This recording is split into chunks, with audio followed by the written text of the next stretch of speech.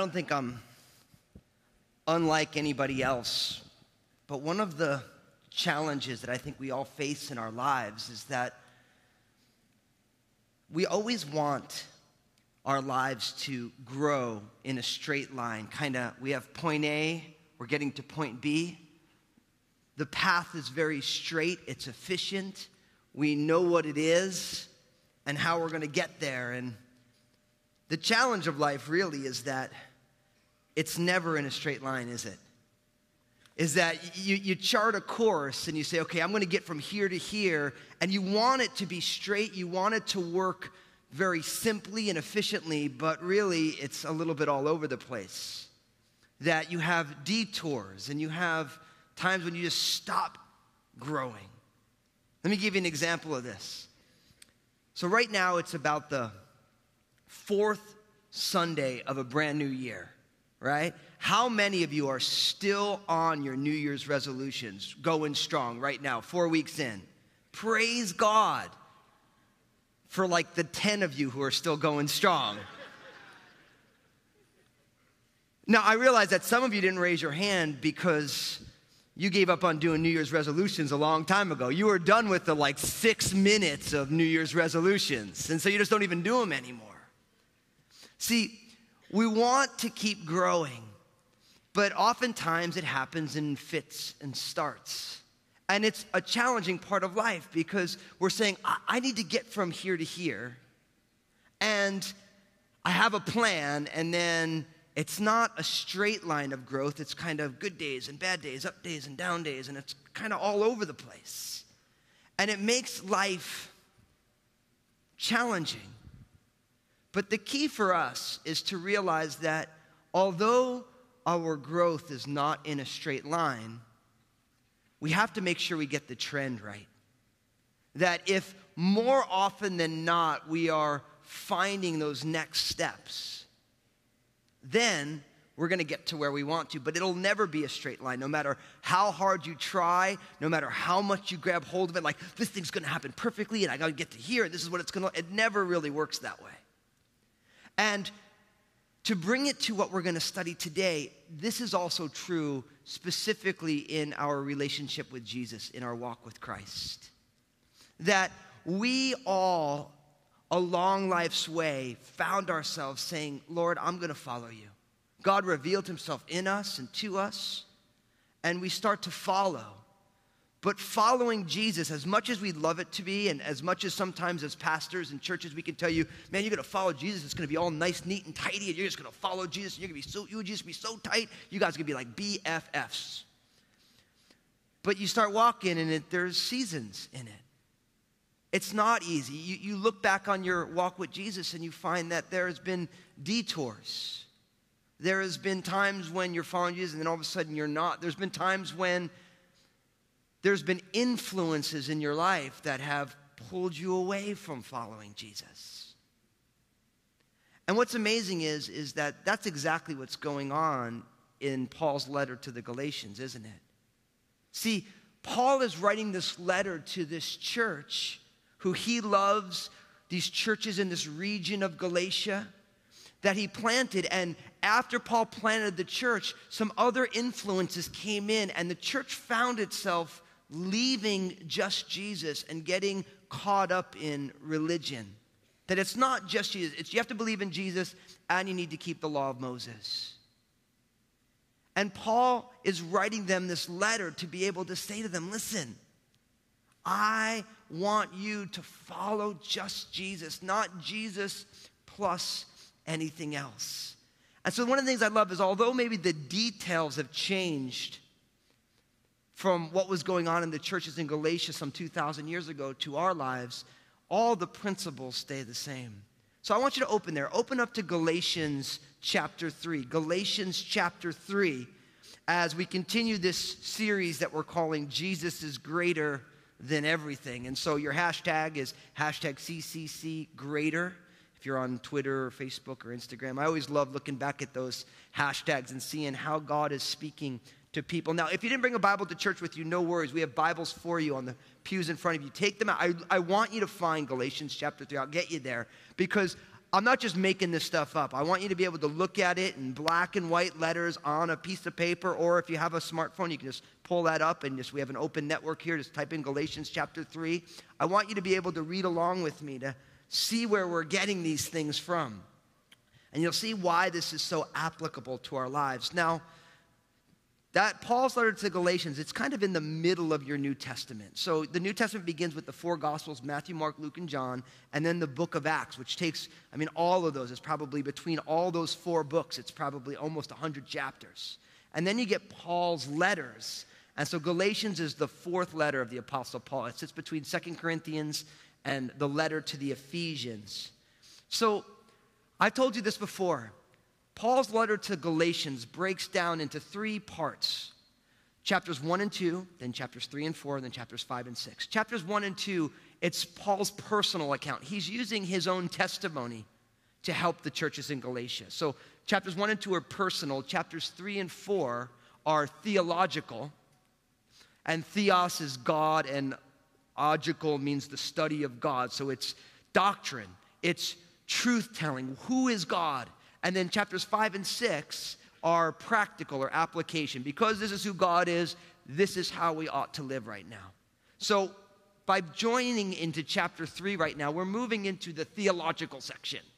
Now, I realize that in a church the size of Crossroads and a church with a history like Crossroads, that right now, all of us find ourselves in different places. For some of us, you've been walking with the Lord for twice as long as I've been alive, and you have heard Pastor Bill Ritchie teach for years. You've studied the Word, you've read the Bible every day. And for others of you, you're here right now and you don't even know what Galatians is. Just, you know, Galatians, it's, it's a region. It's like the letters to the churches in Clark County, right? And so some of you come in here with a history with Christianity, and others of you are here right now and saying, I don't even know about all this. I'm just checking it out. And really, what I want you to know is chapters three and four in Paul's letter to the Galatians is a thick section. There's a lot of stuff in here. And literally, you can buy books of people who have devoted their lives only to studying what they would call Pauline theology. Literally, like where their whole entire life is focused on studying what Paul's teaching is and how it looks. Go on Amazon, put in Pauline theology, almost all the books will be upwards of a thousand pages. And so, what my goal is, is my goal is to be your tour guide, walking us through some pretty thick, dense sections of Scripture. And if you're brand new to Christianity, or if you're just checking it out, there's going to be important things for you. And if you're here and you've been walking with Jesus for, for a long time, there's going to be a lot of stuff for you as well. And my hope is that no matter where you find yourself today, there's going to be things that God is going to want to speak to you through this text. And I'm going to try not to get us weighed down in uh, big words, although we like them. And if I use a big word, I'll just try to explain what that word means. But our goal is to put legs on the message of Jesus. That's always our goal. What does this mean for us? So let's jump right on in. Galatians chapter 3, picking up in verse 1. The Apostle Paul says this O foolish Galatians! Who has bewitched you that you should not obey the truth?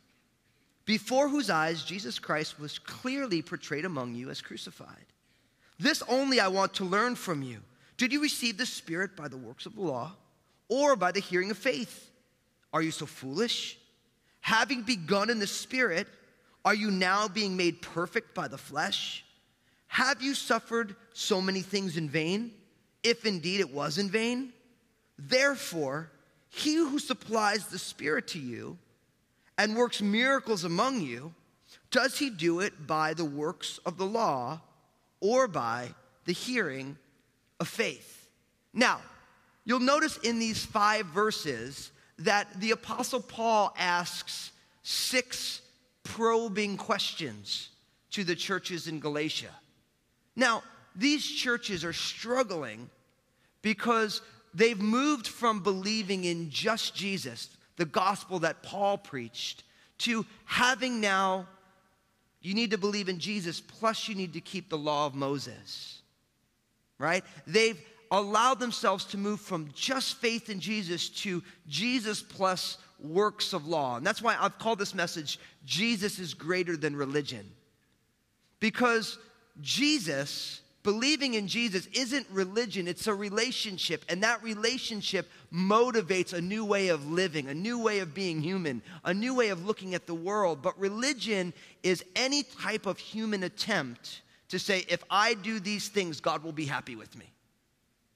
Right? So religion is, I am going to obey in whatever the standard I have. It, for the churches in Galatia, it was the Jewish law, the law of Moses. If I obey these things, then God will accept me. But Jesus, and the good news is that God has accepted me, therefore, I live in response to God's love and I act differently. And you might think, well, okay, so Fusco, that's splitting hairs. But I'm here to tell you if you don't split those hairs, you either end up in a new form of bondage, religious slavery, or you get set free in the gospel. And the churches in Galatia have allowed themselves to end up in a new form of slavery to law keeping. And so Paul asks them six probing questions. And so I want to start with this. We need to ask ourselves these questions. Ask yourself these questions. Now, why do I say that? Because part of probing questions is it keeps us honest with who we are, right? Part of allowing people to ask you honest questions and probing questions is it causes you now to have to look at yourself. And isn't that our biggest problem? We have blind spots. We all do. And you know what the problem with our blind spots are? As I always say, the person who's blind to it is the last person to realize they have the blind spot.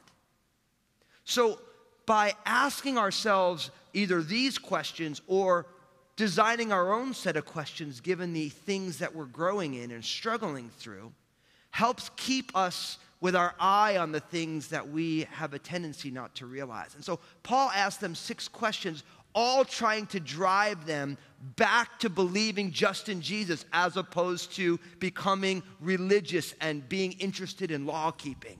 Now, he begins with, Oh, foolish Galatians.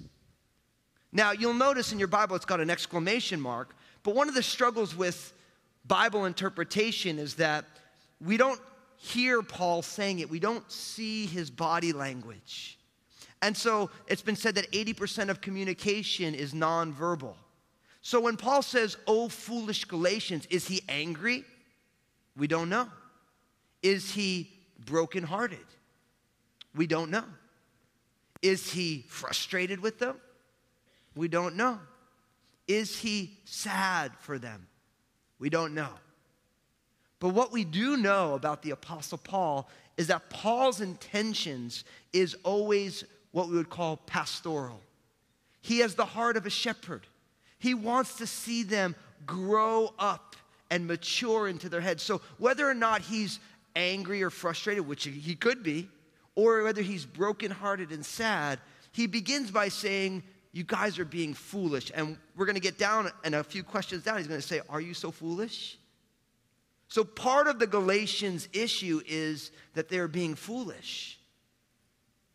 But notice the first question, verse 1 Who has bewitched you that you should not obey the truth, before whose eyes Jesus Christ was clearly portrayed among you as crucified? So the first question is, is who got you off track? He says, Who has bewitched you? That's a, a strange word. How many of you remember the TV show Bewitched? Yeah. For those of you who don't know, you can look it up on YouTube. You can see it was a fun little show. Back when uh, nighttime television was still watchable and not in the gutter, you know what I mean? But the idea of being bewitched, it's, it's the idea of having a spell cast upon you, being deceived. And he's saying, You guys, who has deceived you and what is he worried about? What is the deception? Look at what it says that you should not obey the truth. So the churches in Galatia has been moved. They've been, a spell has been cast upon them that now that they should not obey the truth. So the, the issue here is that in the eyes of the Apostle Paul and in the eyes of God, the churches in Galatia are now not following the truth. Now I realize that when I say that, in 21st century America that there's some of you going to be like, oh, this is why I don't believe in Christianity. This is why I don't like religion, because who are you to say what the truth is? And I'm here to tell you, I am nobody. But if there's a God, and there is, and if that God is perfect and all loving and creates and sustains everything, which is who God is, then God is allowed to say, this is right and this is wrong. This is true and this is not. And we have to realize that because we live in a world, our culture has the Pontius Pilate syndrome. Remember, he asked Jesus, what is truth? As if truth can be arbitrarily designed by any given person. Well, it's your truth and my truth. Our culture says things like that. I'm here to tell you no. Jesus is the way, the truth, and the life. And because Jesus is fully God, created and sustains everything, knows what ultimate human flourishing is, God is allowed to say, this is true and this is not. So don't think, I'm not telling you this. That's why I have you open it up. Look, this is what God's word says. Now, don't get mad at me. I'm nobody. It's not like, well, how does, why is a dreadlock guy allowed to tell us what truth is? I, I'm nobody. You know, this is God's truth. And the churches in Galatia have left, they've had a spell, so to speak, cast upon them that now they're not following the truth. They're not obeying God's truth. And then Paul says something amazing at the end of verse 1. He says, Before whose eyes Jesus Christ was clearly portrayed among you as crucified. Now, what the Apostle Paul is saying, listen, you guys have gotten taken off track. A spell's been cast upon you, and I can't believe it because Jesus Christ has been clearly portrayed amongst you as crucified. That word portrayed, you know how you can translate it? Being billboarded. You know when something's on a billboard? It's on a big sign and everyone sees it. Paul is saying, look, when you guys received the gospel through the ministry of me and the other apostles, the crucifixion, the death and resurrection of Jesus was on billboard display. You saw what it means. And I'm here to tell you, my friends, part of you and I obeying the gospel, following Jesus, is that we in our lives now billboard to the world what the death and resurrection of Jesus is all about. Our, our personal lives tell the story of what it means to, to believe in Jesus and follow Jesus. And that is why you and I asking ourselves probing questions is so important because for each one of us, we don't always billboard the Jesus message so well, do we? Because we got stuff. We got issues. You got issues. You know I got issues. We all got issues. And so God is doing a work in each one of our lives to say, I want to purify the billboard of Jesus in your life. And we all have different things that get us off track.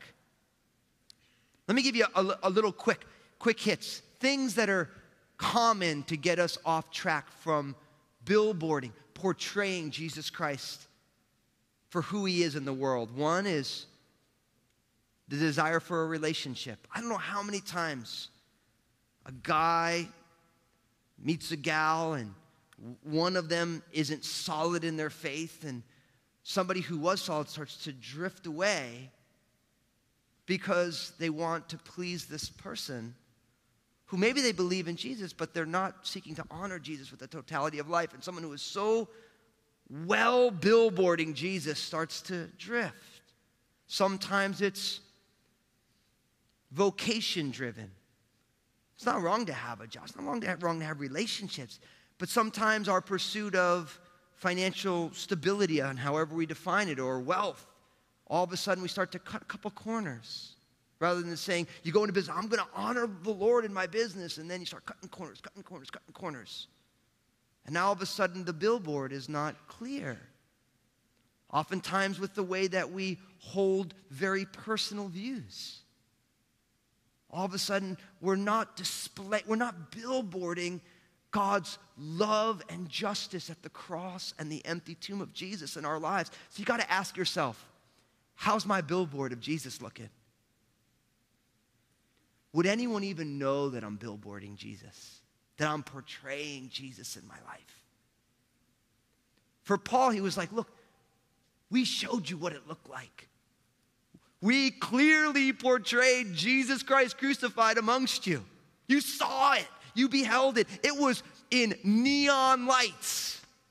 I can't believe you guys have gotten away. So that's the first question. Look at the second question. This only, verse 2, I want to learn from you. Did you receive the Spirit by the works of the law or by the hearing of faith? Now, this question, Paul is saying to them and to us remember your roots. That's what he's saying. He's saying, listen, when you came to know Jesus, did you come to know Jesus by a work of God's Spirit or by works of law? He's saying, your conversion, also called regeneration, did that happen because the Spirit did it and you believed by faith or by some work that you did?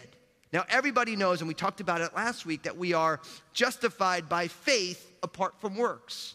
See, when you put your faith and trust in Jesus, the Spirit entered your life because you believed in Jesus, not because you believed in Jesus and you went to church every week, which is not a bad thing, but it's not a saving thing.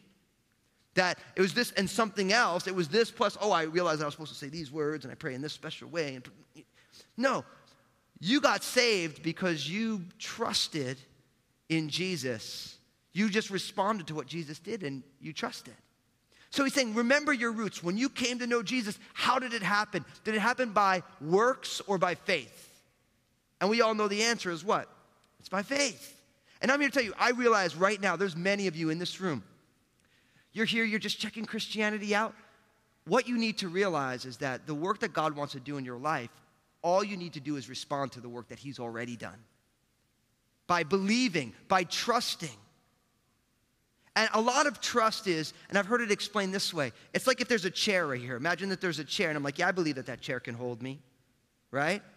I'm believing it, but how do you really know if you believe it when you sit in it?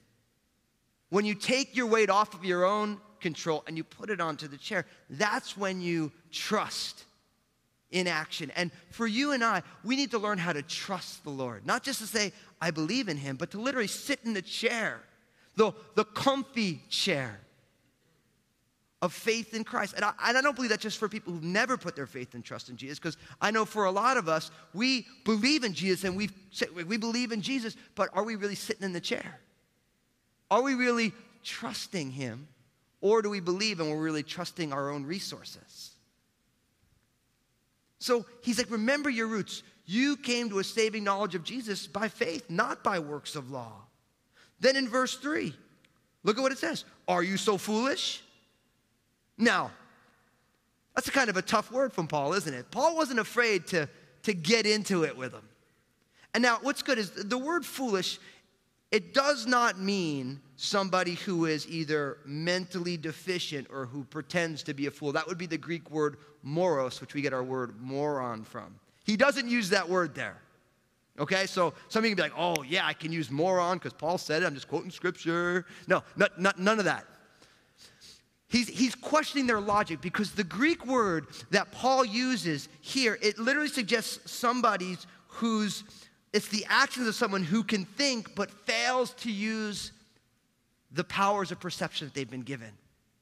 So it's not somebody who is deficient, it's somebody who actually knows better. And if somebody were to step into using all of God's spiritual resources that we have in Christ, we wouldn't act that way. Now, when you put it in those terms, that's kind of a challenging question, isn't it? Because for all of us, we have to ask ourselves Am I not partaking of all the spiritual resources that I have in Christ by the Spirit to make decisions about my life? And if you ask yourself, Am I being so foolish? Well, you just better hold on to your hat for the answers. Because it's amazing, because God loves us enough to say, Listen, since you're asking, there's this area and there's this there. And I'll be honest, I always say I don't preach a message unless I ask God to let me live it. And I ask God this question In what areas am I not utilizing all that you have given me in decision making for my life? And God was lovingly direct with me on a number of areas. And I'm so grateful for that because oftentimes we have not because we ask not. So ask the question where is my spiritual logic not being utilized? It's a great question. But again, don't ask questions that you don't want answers to. Because if you do, then you're going to get answers that you don't want. But these are good questions. They're probing questions. Now, look at the next question, the, the fourth question in the middle of verse 3. Having begun in the Spirit, are you now being made perfect in the flesh? Now, I think in regards to the Jesus is greater than religion reality, this is big. Having begun in the Spirit, are you seeking to be made perfect in the flesh? This was the Galatians' problem. They began in the Spirit. God did a work in their life, and now they're seeking to perfect themselves by the things that they do. Remember, I said that we are justified by faith last week, and in this uh, question of how you began, did you begin by faith or works? And it's by faith. Just as we are justified by faith, we are converted or regenerated by faith.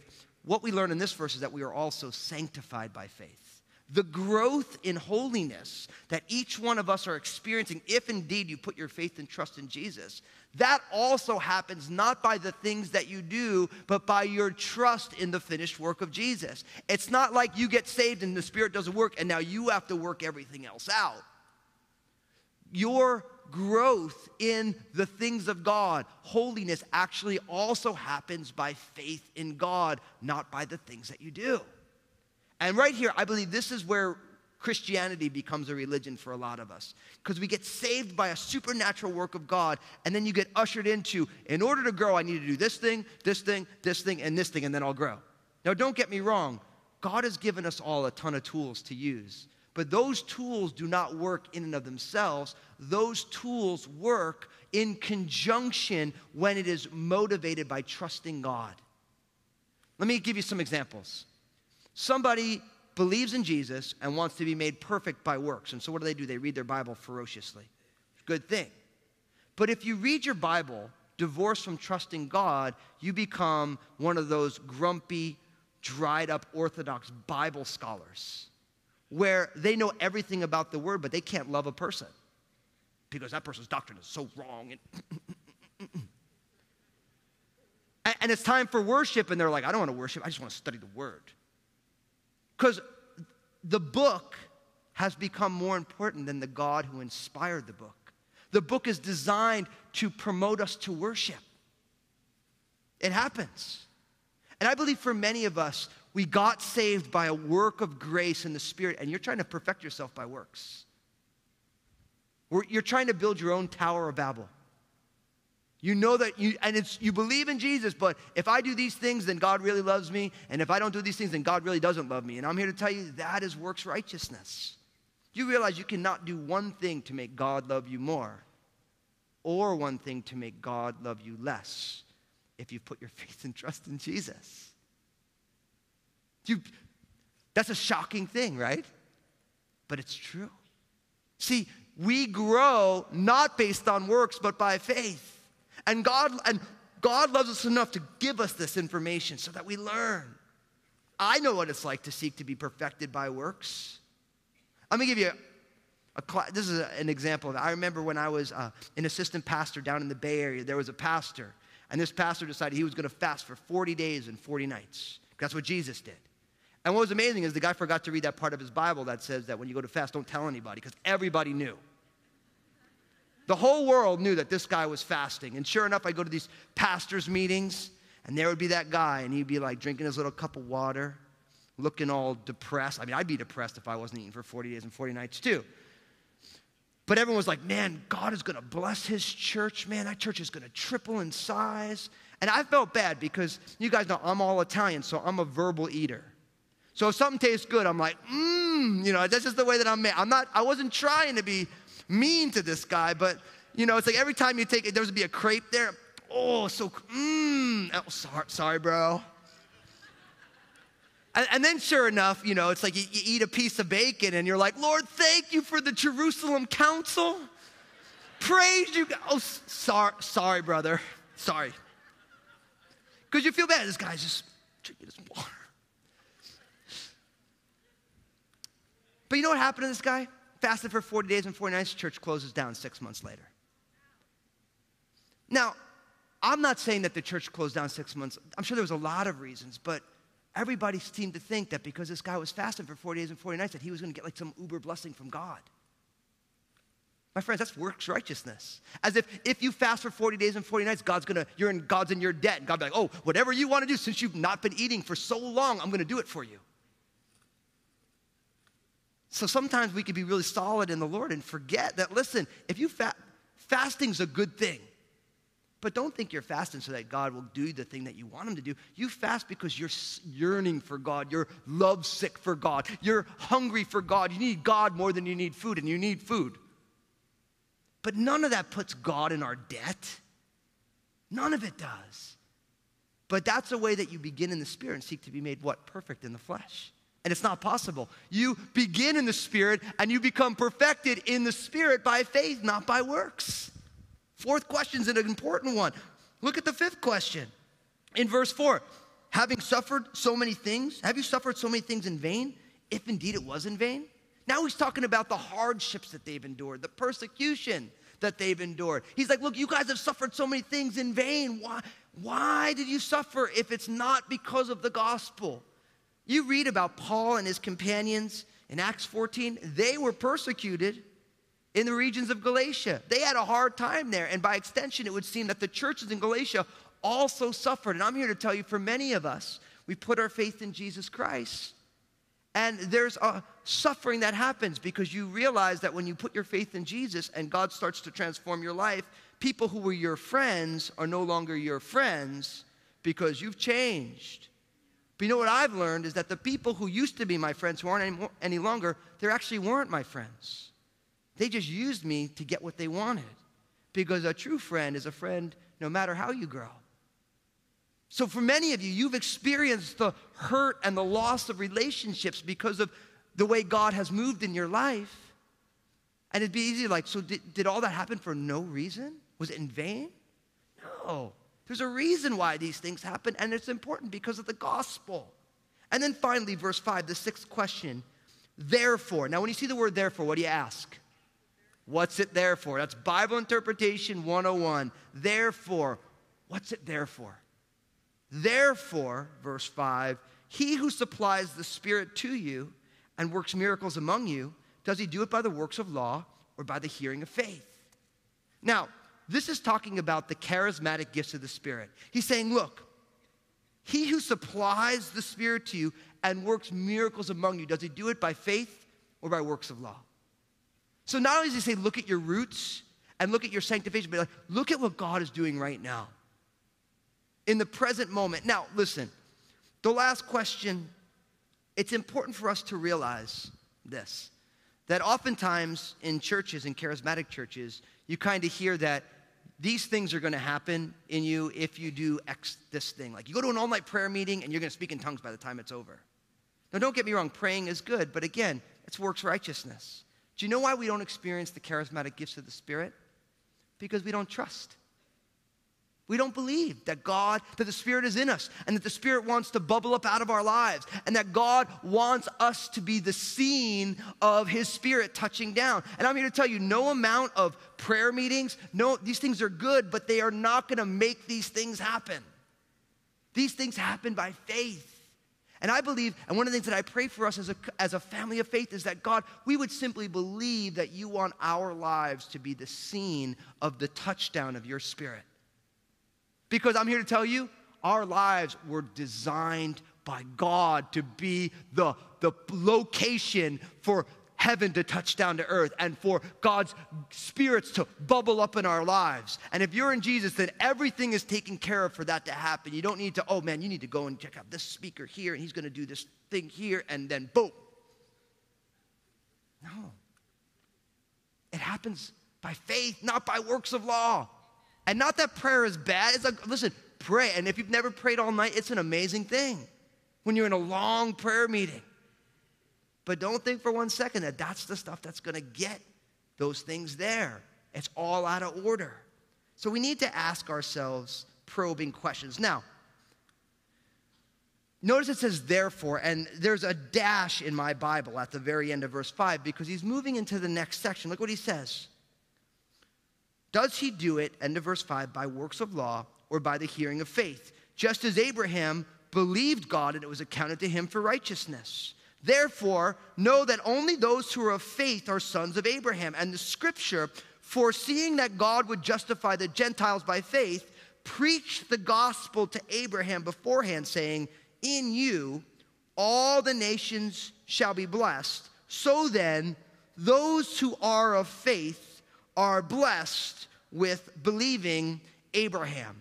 Now, what the Apostle Paul does, think about it. The churches in Galatia were leaving just Jesus for the I believe in Jesus plus the religion of Judaism. And so Paul goes right at the originator of God's work that became the children of Israel. Everybody who is Jewish know that Abraham was the patriarch. God called Abraham out to start this brand new group of people. He made a great nation. There's all these promises, and we get a couple of those verses there. And so Paul's like, Look, you want to become Jewish. Let me show you that God's plan for the descendants of Abraham was never was never meant to be by works of law. It was always by faith. And so what we learn is that those who are of faith are children of Father Abraham. And you and I are called to be children of Father Abraham. How many of you guys remember that camp song, Father Abraham? You guys are, so listen, you guys know I didn't grow up in the church. I went to a camp and they used to sing that song. And I remember we, I would sing it, and we would be in like the little cafeteria because I go to camp and they'd say, And Father Abraham had many sons, and many sons had through Abraham, and I am one of them, and so are you. And let's just, uh, uh, you know, all, you guys remember that, right? Now, I remember growing up, I'd sing that song and I'm like, well, who's Father Abraham? My dad's name is Tom and I'm the only son of my dad, so who's this guy? And I, did, I had no